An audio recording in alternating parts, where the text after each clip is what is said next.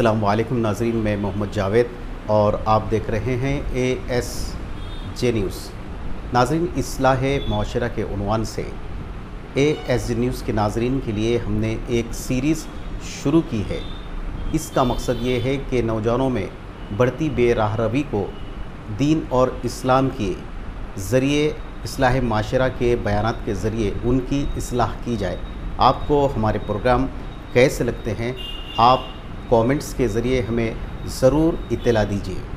इस सिलसिले में आज हमने दहेज की तबाह कारियों के उनवान से आज मौलाना मुमताज़ आलम दीन इमाम ख़तीब मस्जिद यासीन, गरीब नवाज़ गाज़ी बंडे के इमाम ख़तीब जनाब मोहम्मद उमर सोहेब साहब से हमने आज एक बयान जारी किया है। आइए देखते हैं उन्होंने दहेज के मामले में और इसकी तबाह तबाहकारियों के सिलसिले में क्या कुछ कहा? आइए देखते हैं इस रिपोर्ट में।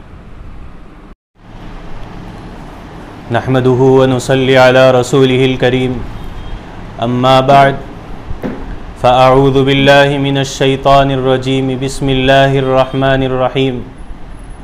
व उहिल्ल लकुम मा अन तबतगू बिअमवालिकुम मुहसिनीन गैर मुसाफिहीन फ़मस्तमतअतुम बिही मिनहुन्न फ़आतूहुन्न उजूरहुन्न फ़रीज़ा सदक़ल्लाहुल अज़ीम वक़ाल नबी सल्लल्लाहु अलैहि वसल्लम अन्निकाहु मिन सुन्नती वक़ाल अलैहि सलातु वस्सलाम फ़मन रग़िब अन सुन्नती फ़लैस मिन्नी औ कमा क़ाल अलैहि सलातु वत्तस्लीम नाज़रीन इकराम अज़ीज़ दोस्तों और बुज़ुर्गों अस्सलामु अलैकुम वरहमतुल्लाहि वबरकातुहू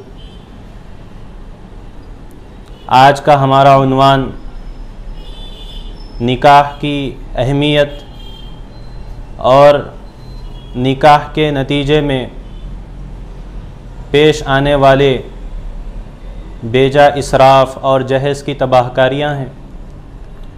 ये उनवान मैं आप हजरात के सामने लेकर हाज़िर हुआ हूँ। दुआ करता हूँ कि अल्लाह तबारक व ताली मेरी बात में कबूलियत की तासीर अता फ़रमाए और हम सबको इस पर अमल करने की तोफ़ी अता फ़रमाए। आमीन।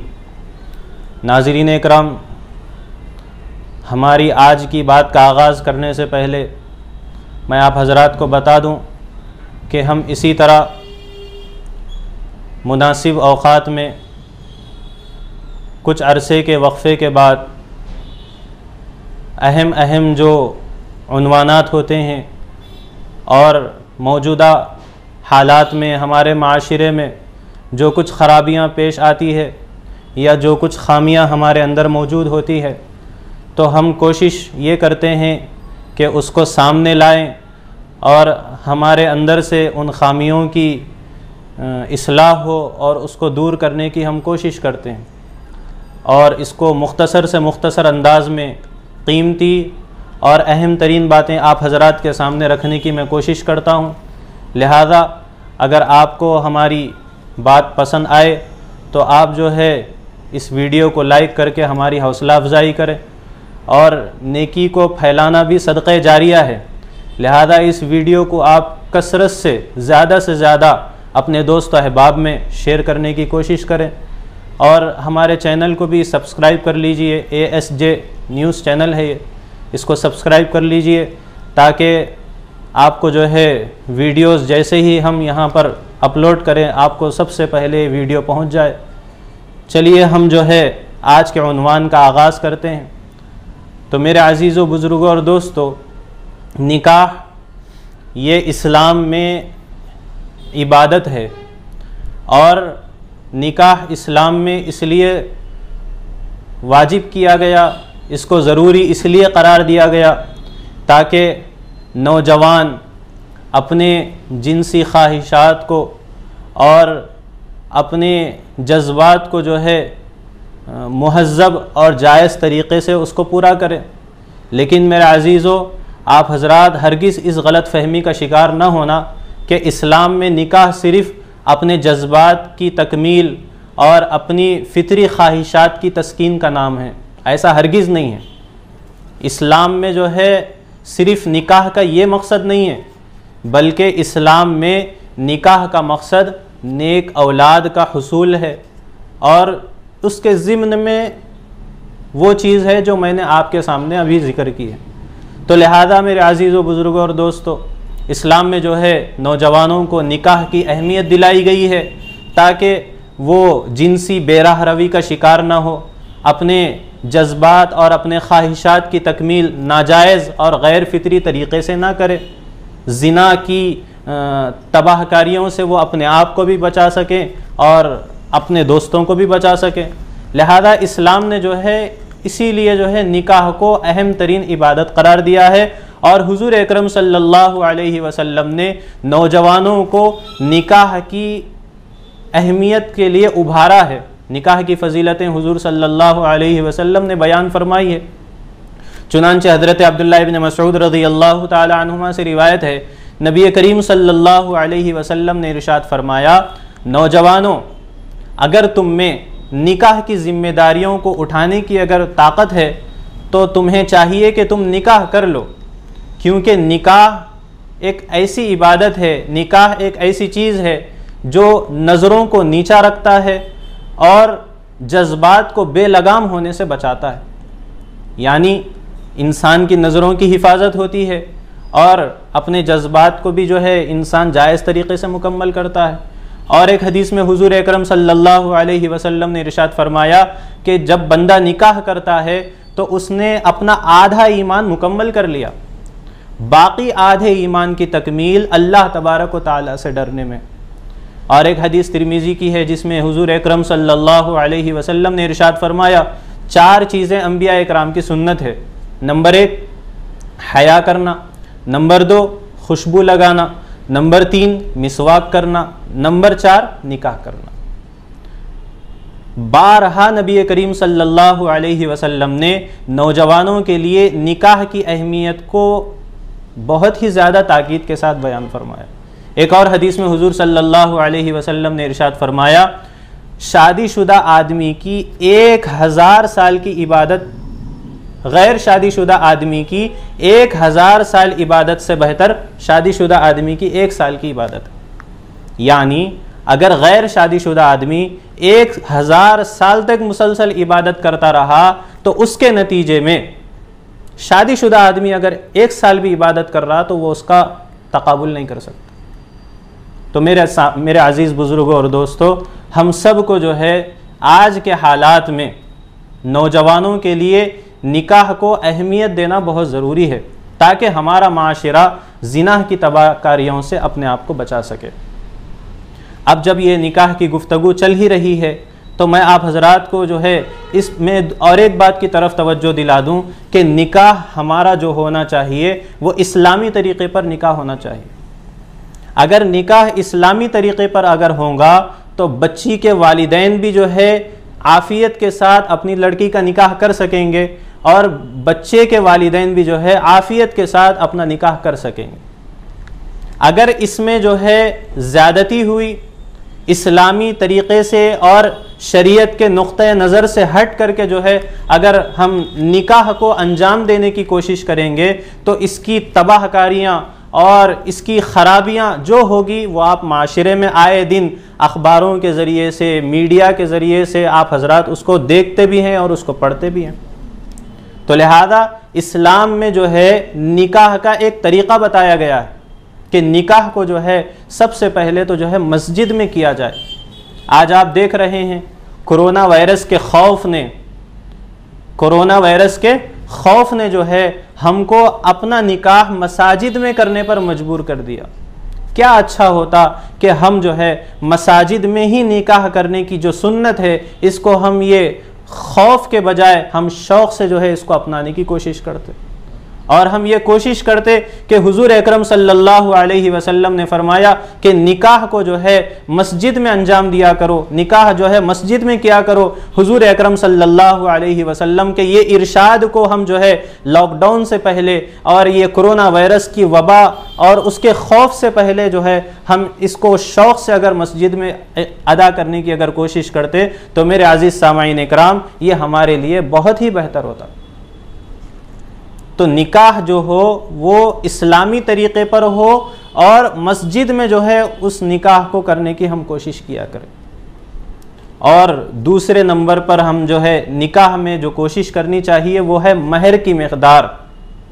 महर जो है, हम मनमानी तौर पर मुकर्र ना करें। महर मिसली, ये सिर्फ़ आजकल अरबों ही में रह गया।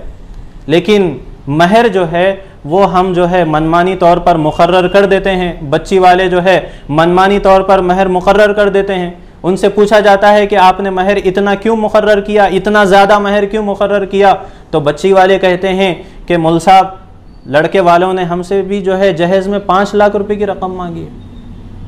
पाँच लाख रुपए जो है हमसे उन्होंने जहेज़ मांगा है। लिहाजा हम भी जो है महर में इजाफा करके उनसे मांग रहे हैं। तो मेरे अज़ीज़ सामाइन कराम नाजरीन कराम हमको जो है महर, जो हुजूर अकरम सल्लल्लाहु अलैहि वसल्लम ने जो मकदार बताई है, मौजूदा हालात के अतबार से उसकी जो कीमत बनती है, वो हमें अदा करने की ज़रूरत है। हुजूर अकरम सल्लल्लाहु अलैहि वसल्लम ने भी इस जानब तवज्जो दिलाई है और कुरान करीम में भी अल्लाह तबारक ताली ने इरशाद फरमाया, व आतुन्निसाक़ातिहिन नहला।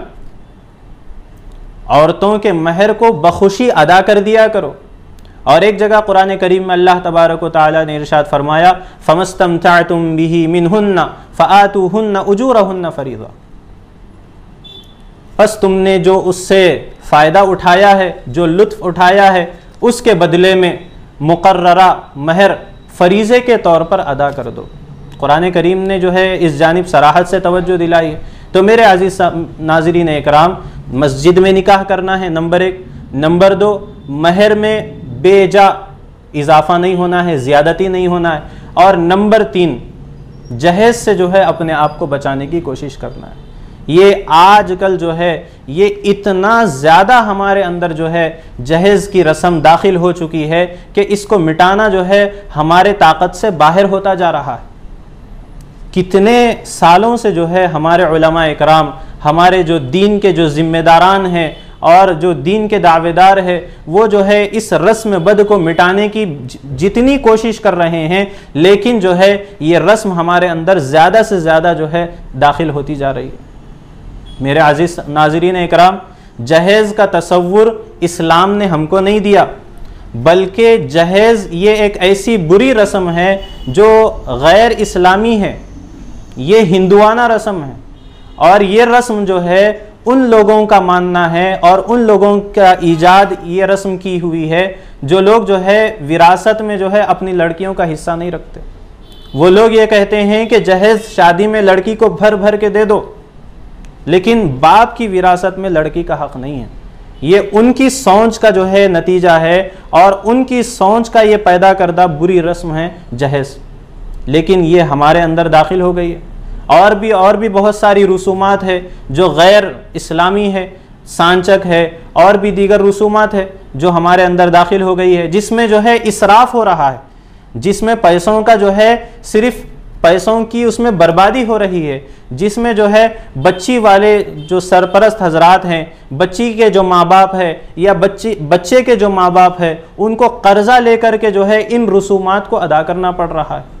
कुरान करीम ने तो साफ़ ऐलान कर दिया, इन्नल मुबदरीन कानू इखवान शयातीन। इसराफ करने वाले, फजूल खर्ची करने वाले, ये शैतान के भाई हैं। अल्लाह तबारक ताली ने इनको शैतान का भाई करार दिया। इन्नल मुबदरीन कानू इखवान शयातीन वकान शैतान रबी ही कफूरा। और शैतान तो अपने रब का नाफरमान है। नाफरमानों को हम अपना दोस्त बनाना चाहते हैं। और नाफरमानों के जो रसूमात है और नाफरमानों की जो आदतें हैं, वो हम अपने अंदर दाखिल करना चाहते हैं। निकाह इतनी खूबसूरत तरीन इबादत है, इतनी बेहतरीन इबादत है। हमने जो है, उसमें गैर इस्लामी रस्म व रिवाज और गैर इस्लामी तौर तरीक़ों को हमने उसमें दाखिल करके जो है, निकाह की इतनी बेहतरीन इबादत को हमने लिए, जहन्नम में दाखिले का ज़रिया बना लिया। तो मेरे आज़िज़ सामाइन कराम हम सबको जो है जहेज़ की तबाहकारियों से अपने आप को बचाना चाहिए। अगर ये जहेज़ की रस्म हमारे अंदर दाखिल हो गई तो इसके नतीजे में हमारे अंदर और भी बहुत सारी तबाहकारियाँ आ जाएँगी। नंबर एक, घर तबाह हो जाएँगे। अगर बच्ची वाले जो है, निकाह के बाद मालदार है तो वो जहेज़ अदा कर दिए तो ठीक है। लेकिन बच्ची वाले जो है अगर जहेज़ अदा नहीं कर सके तो फिर जो है बच्ची को ससुराल में टॉर्चर किया जाता है, उसको परेशान किया जाता है। नतीजतन जो है बच्ची को या तो तलाक दे दिया जाता है, या फिर वही बच्ची जो है फंके फ़ैन पर जो है फांसी लगा करके जो है लटक कर अपनी जान देने पर मजबूर हो जाती है। इससे पूरा घर तबाह हो जाएगा। दोनों ख़ानदानों की बदनामी होगी और इसमें सिवाय इसके कुछ और हासिल ना होगा। नंबर दो जहेज के डर से जो है माँ बाप अपने लड़कियों को जो है ज़िंदा दरगोर कर देंगे। बच्ची को दुनिया में आने से पहले ही जो है माँ उसको जो है अपने अपने पेट में ही उसको जो है ज़िंदा दरगोर कर देगी। तो लिहाजा जहेज़ की ये रस्म बद से अपने आप को बचाना चाहिए। और इसकी एक और पांचवी ख़राबी ये है कि लड़कियाँ जो है जिनसी बेराह रवी का शिकार हो जाएँगी, अपनी इफ़्फ़त और अपनी पाकदामनी को और अपनी इज़्ज़त को जो है वो नीलाम करना शुरू कर देगी। गैर मुस्लिम लड़कों के साथ वो राह फ़रार इख्तियार करने पर मजबूर हो जाएगी। लिहाजा इससे अपने आप को बचाना चाहिए। छठवीं ख़राबी ये है कि लड़कियों की काला बाजारी होगी। माँ बाप अब चूँकि जहेज दे तो नहीं सकते, नौजवान बच्ची को घर में रख भी नहीं सकते, लिहाजा माँ बाप जो है, लड़की को बेचने पर मजबूर हो जाएँगे। और इसी तरीके पर जो है, और लड़कियाँ बाप की जायदाद में विरासत के हक़ से भी महरूम हो जाएगी। तो मेरे अजीज़ों, बुज़ुर्गों और दोस्तों, बहुत सारी ख़राबियाँ जो है इस रस्म बद के नतीजे में हमारे माशरे में वजूद में आएगी। लिहाजा आप हजरात कोशिश कीजिए और हर मेरी ये वीडियो के ज़रिए जो जो नौजवान मेरी बात सुन रहे हैं या जो जो नौजवान बच्चों के वालदेन सरपरस हजरात मेरी ये बात सुन रहे हैं, ये आप हजरात ये ठान लीजिए, ये इरादा कर लीजिए कि निकाह जिस तरीके से हम आज के हालात में कर रहे हैं, वैसे ही इस्लामी तरीके पर हम सारी ज़िंदगी में अपने सारे नौजवान लड़कों का निकाह इसी तरीके पर करेंगे और जहेज़ जैसी बदतरीन रस्म को हमारे माशरे के से आहिस्ता आहिस्ता हम निकाल कर फेंकेंगे तो इन हमारे माशरे में आहिस्ता आहिस्ता सुधार आ जाएगा। मेरे अजीज़ों, अजीब माजरा है, हजरात देखिए। अजीब माजरा है, हजरात देखिए। दामाद माँगता है, खैरात देखिए। ये जहेज़ एक खैरात ही है जो मांगी जाती है बच्चियों से। बच्चियों के सरपरस हजरात से मैं बस दर्द मंदाना अपील करता हूँ और आखिर में दुआ करता हूँ कि अल्लाह तबारक ताली हम सबको इस जहेज़ जैसी रस्म बद से हमारी हिफाजत फरमाए और निकाह को इस्लामी तरीक़े पर करने की हमें तोफ़ी अता फ़रमाए। व आखिर दावाना अनिलहमदिल्ला रबालमीन